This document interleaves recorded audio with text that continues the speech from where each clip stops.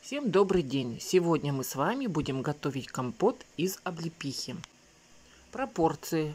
На трехлитровую баночку кладем 3 стакана облепихи и заливаем кипятком до плечиков. Накрываем крышкой и даем постоять 10 минут. В кастрюльке, в которой будем варить сироп, кладем 2 стакана сахара и выливаем всю воду из баночки. Далее сироп нужно довести до кипения. Обязательно снимаем всю пенку.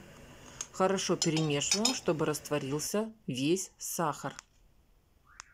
Сироп заливаем обратно в баночку до горлышка и закрываем крышкой. Далее нужно укутать хорошо под байковым одеялом или толстым махровым полотенцем до полного остывания.